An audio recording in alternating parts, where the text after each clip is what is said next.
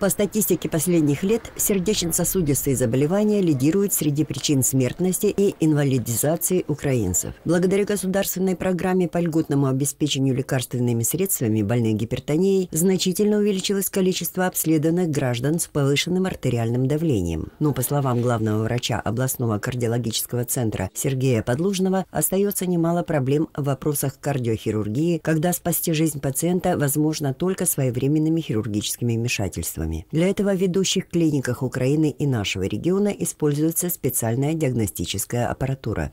Сейчас в область заходят те препараты, которые э, лечат инфаркты миокарда, тромболизис.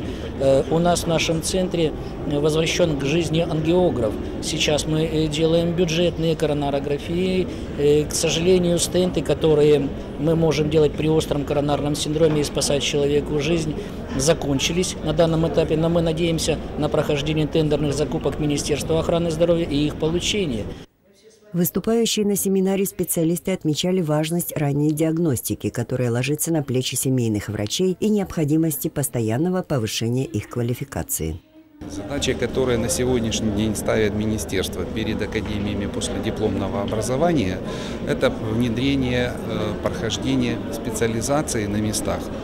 Прежде всего для кардиологов, чтобы они могли увидеть, что такое коронарография, что такое стентирование коронарных артерий, при каких заболеваниях и каких особенностях они выполняются.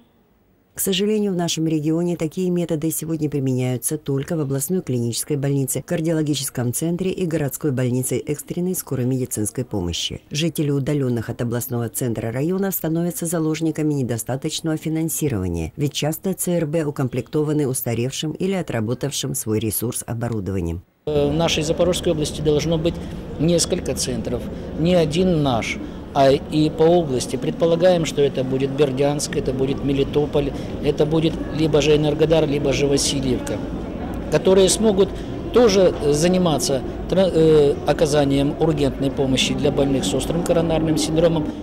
Также участники семинара поделились своим опытом и научными разработками в профилактике, ранней диагностике и лечении сердечно-сосудистой патологии.